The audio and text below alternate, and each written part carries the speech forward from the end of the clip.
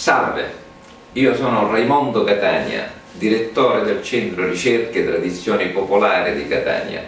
Sono qua per essere una guida a tutti coloro che vogliono imparare a suonare il friscaletto. Cos'è il friscaletto? È un tipico strumento siciliano costruito con la semplice canna, la canna che viene messa per tenere ferme le piantine. Un'altra parte importante del friscaletto, come vedete questo qua, è il tappo, è quello che fa suonare questo strumento, come vedete. Perché?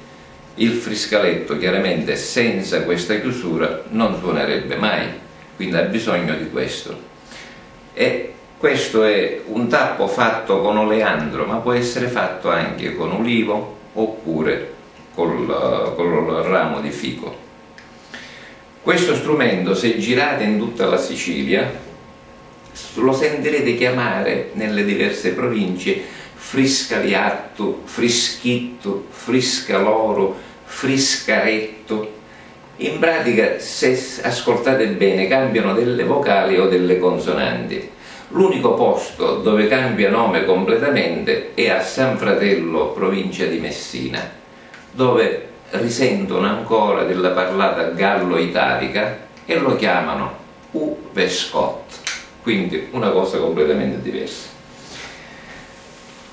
E allora vediamo adesso le principali caratteristiche che c'è questo strumento, che soprattutto, soprattutto sono tre.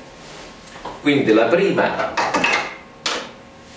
è che la tonalità si determina lasciando aperti gli ultimi due buchi, cioè se noi chiudiamo, otturiamo tutti i buchi del friscaletto e lasciamo aperti gli ultimi due buchi, se mettiamo la nota Do diremo che questo friscaletto è in Do.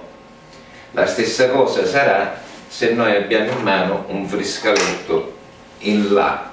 Per essere in La devo lasciare aperti gli ultimi due buchi, se questo mi dà il suono dell'A vuol dire che questo è un friscaletto in La.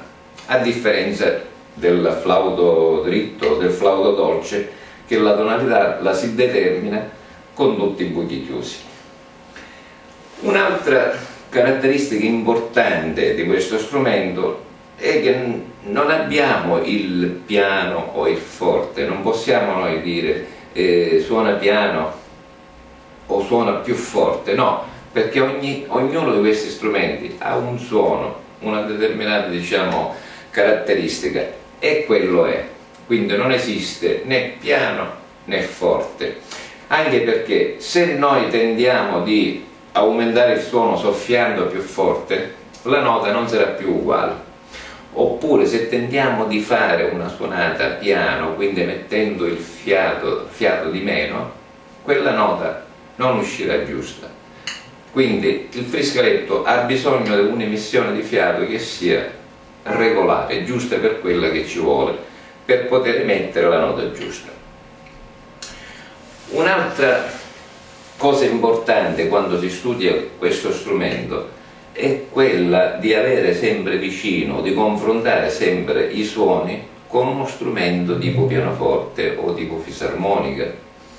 Questo perché essendo uno strumento questo diciamo, artigianale e incerto, ha bisogno dell'emissione del fiato che sia precisa per poter mettere la nota giusta. Quindi se noi abbiamo uno strumento vicino come pianoforte o fisarmonica, possiamo benissimo ascoltare le note che escono e vedere se l'emissione del fiato sia giusta. Vediamo un esempio. Provo a fare la scala di Do maggiore con questo friscaletto in Do.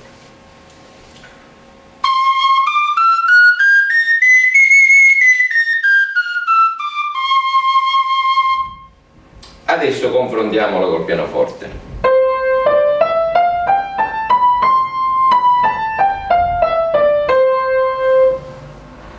Avete visto che già ci siamo diciamo, nella vicinanza dei, dei, suoni. La stessa cosa se io ora uh, ho un friscaletto in là, quindi una cosa fra parentesi che volevo anche dire, che questi sono strumenti traspositori. Che significa traspositori? Traspositori vuol dire che se io con un friscoletto in Do faccio una suonata e poi con le stesse posizioni, cioè muovendo le mani nello stesso modo, la faccio con un friscaletto in La, per me sarà uguale, la suonata sarà sempre giusta e corretta chi cambia è chi mi accompagna, perché se io faccio, porto un esempio, Vittina Grozza e la suono con questo friscaletto in Do, chi mi accompagna naturalmente userà Do e Sol settima. Se io la faccio con questo friscaletto in La, naturalmente dovrà cambiare gli accordi in La e Mi settima, mentre per me la posizione sarà sempre quella. Difatti, se io voglio fare la scala di La maggiore, così come ho fatto col friscaletto in Do, partendo da questa posizione, muovendo le dita nella stessa maniera, con questo otterrò la scala di La maggiore. Vediamo come.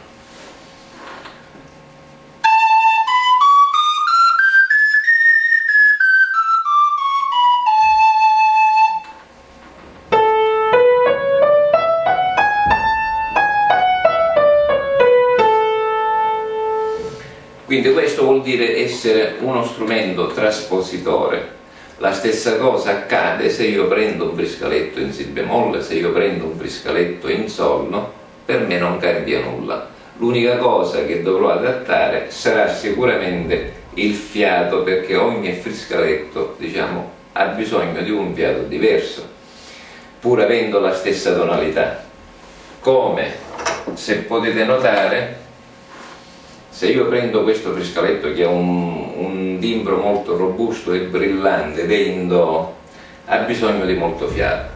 Se invece vi faccio ascoltare questo, pur essendo un friscaletto in Do, questo ha bisogno di pochissimo fiato ed ha un volume diciamo molto inferiore a quest'altro. E allora vediamo ascoltiamo diciamo, questa scala fatta in Do maggiore da questo friscaletto che ha bisogno di poco fiato.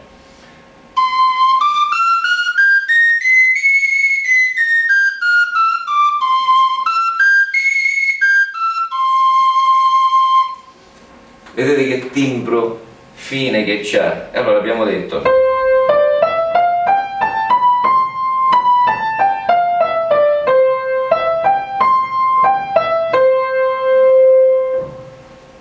adesso ascoltate la differenza di suono che c'è con questo qua, come volume.